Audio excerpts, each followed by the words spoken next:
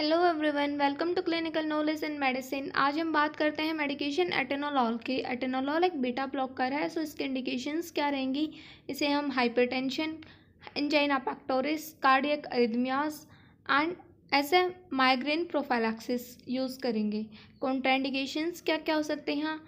It should not be used in hypersensitivity sinus bradycardia greater than first degree heart block cardiogenic shock overt cardiac failure, COPD, sick sinus syndrome, peripheral vascular disease, and during pregnancy.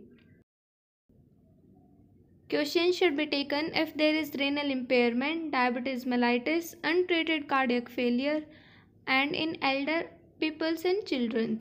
Side effects are bradycardia, low heartbeat, cold extremities, leg pain, dizziness, tiredness, fatigue and lethargy, skin rashes, bronchospasm, headache, impotence and paresthesia, heart failure, second or third degree AV block.